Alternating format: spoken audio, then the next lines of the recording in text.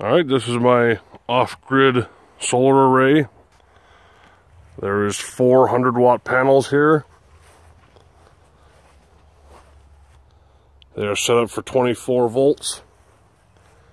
Goes in the ground, over and up into the barn. And it comes in the barn right here, then enters in this EP Ever solar charge controller.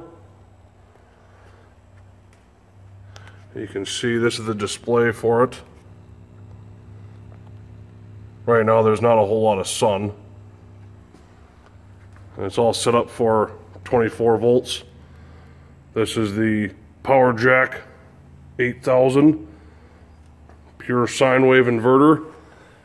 It has four inputs just uh, just divided. I've got zero gauge wire going into it for 24 volts. Right now I just have 300 watts because the lights are on. It's hardwired in, loops around, goes into my panel here. This panel just has four circuits right now.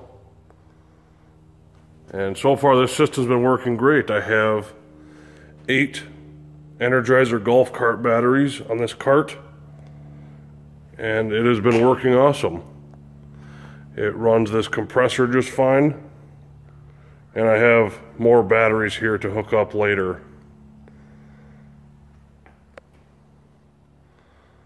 So yeah, that's my uh, off-grid system.